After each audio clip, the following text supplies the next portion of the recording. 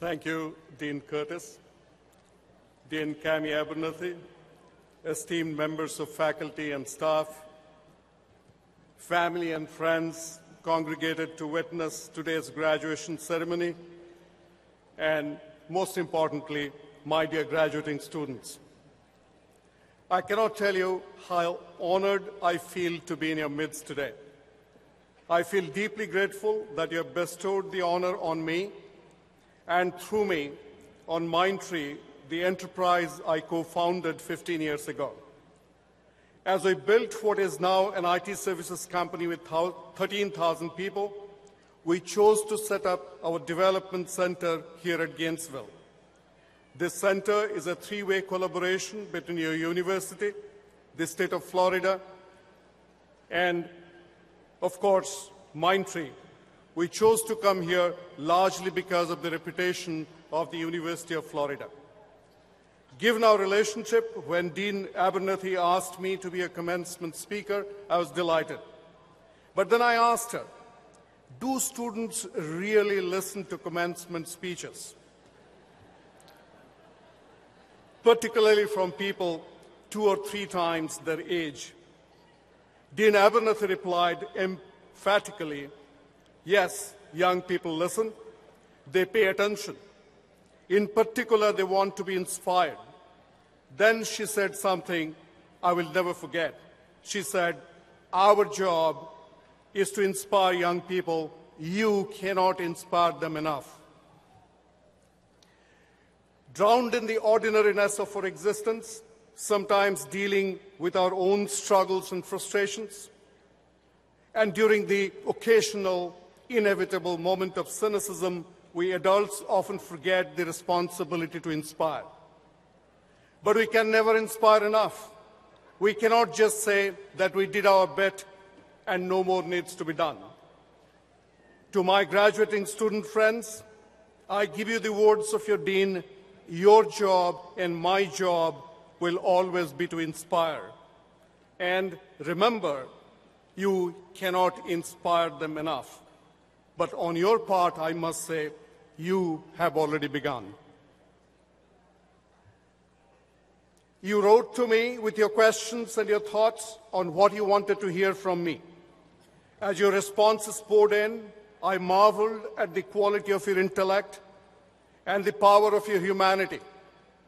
You sent in questions that astonished me with thoughtfulness, kindness, and wisdom. You revealed your ambitions, your fears, your strengths, your fragility. You took my breath away. One question in particular moved me deeply, touching on matters of change and identity, on how to keep one's sense of self in an ever-changing environment. Your classmate Elise Burke wrote, Elise, Elise Burke, Elise,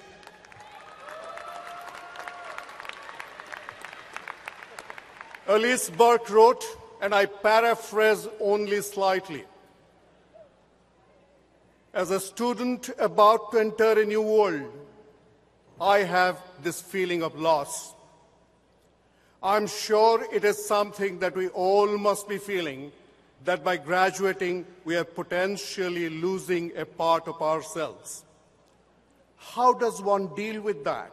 Morph that into a new world and is that weird, empty feeling that comes with graduating and entering the unknown. How do we keep ourselves? Elise, you are not alone. Everyone seated here has felt this at some point in time. These have been my feelings when I left college.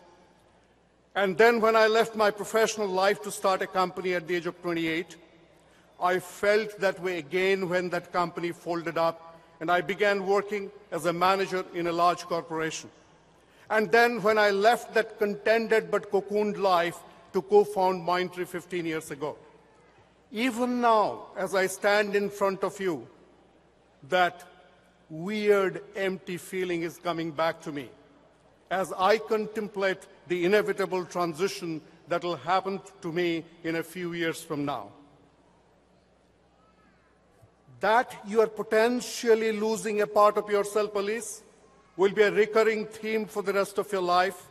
And you will find yourself asking, how do I morph into a new world?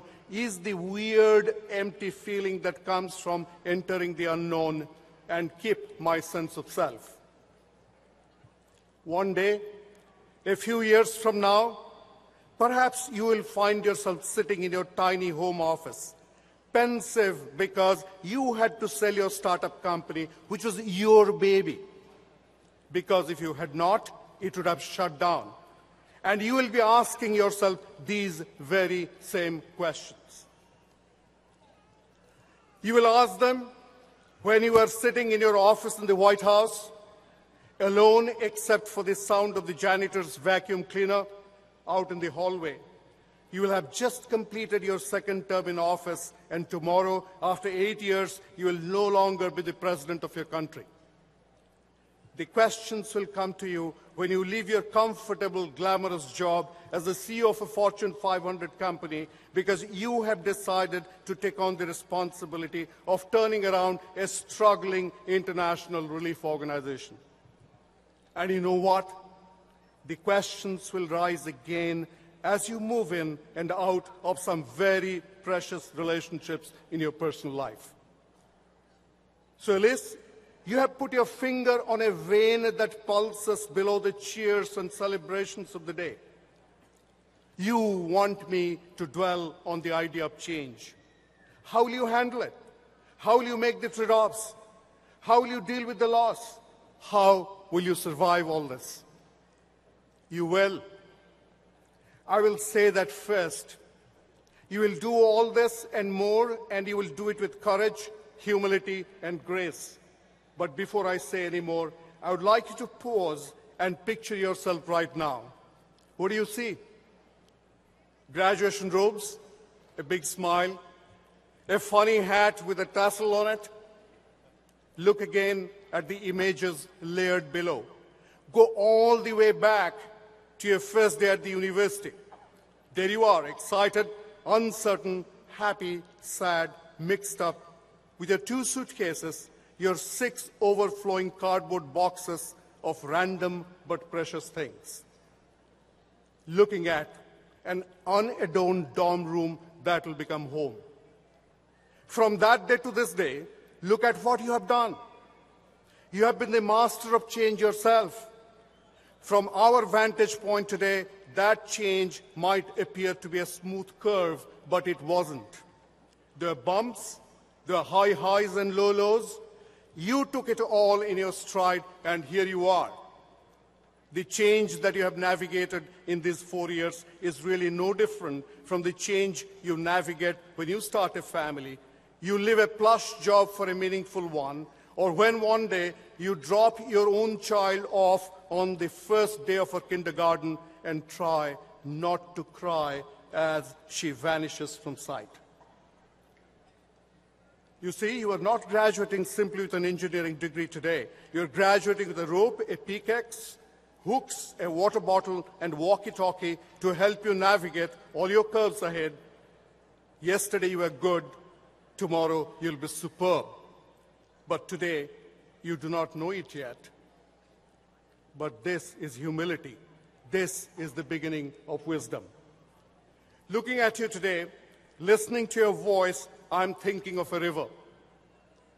At its source, nothing about it suggests greatness or grandeur. The Amazon, when you trace it all the way back to Apacheta in Arequipa, Peru begins as a glacial stream.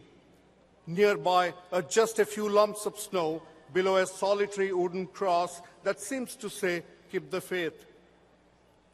At her source, high up in the Himalayas, the Ganges is just a tiny gush. It's the same story for many rivers in the world. At its source, the river has no control over what is ahead all it can do is flow on to the just one next step and the next and then one more.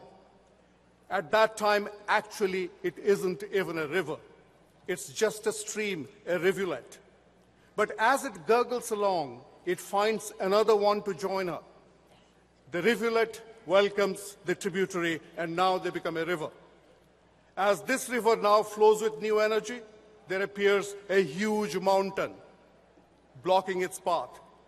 The river doesn't fight the mountain, and neither does it flow back to where it came from. The river finds its patient way around the mountain. The journey becomes beautiful once more. Then, suddenly, out of nothing, nowhere, the surface below and the banks by the side vanish.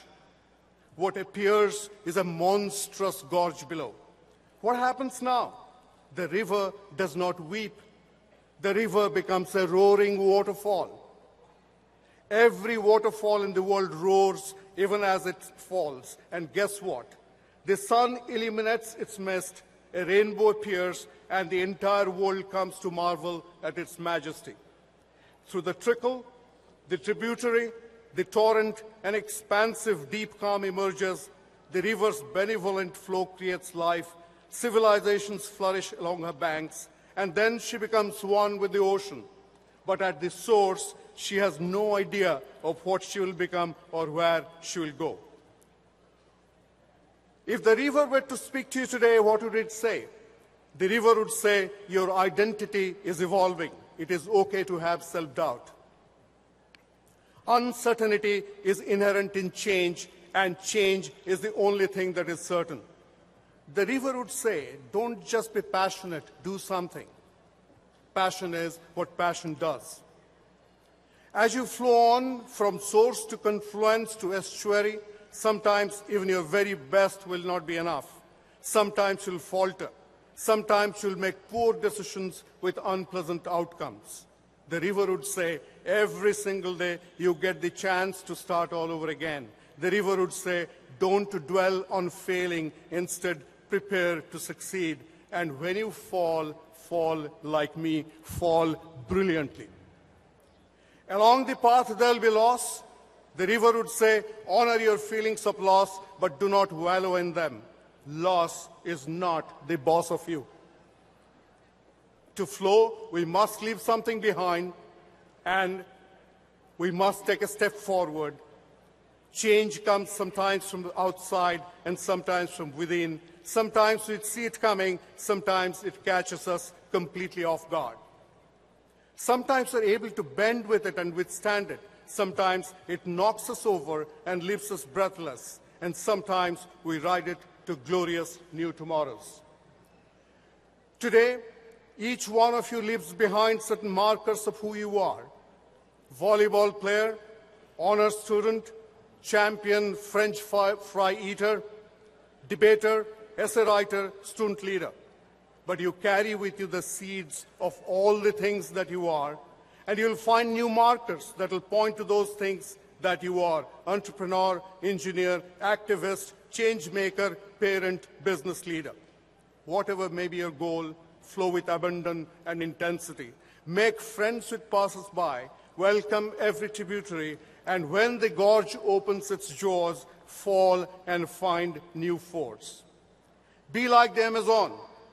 Even the mighty ocean will wait with respect for your arrival.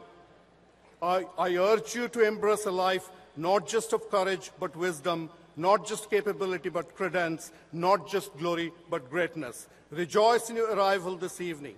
May your tomorrows be enchanted as you chart your new life. May you inherit the greatness of your parents, your teachers, your friends.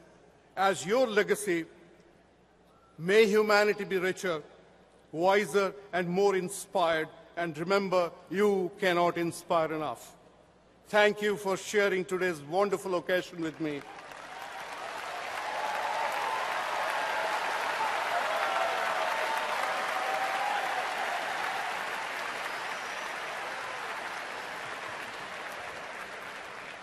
My wife Sushmita and daughters Sneha and Niti are here with me this evening, applauding your achievements and wishing you the very best in your continuing journey. Thank you very much. Thank you.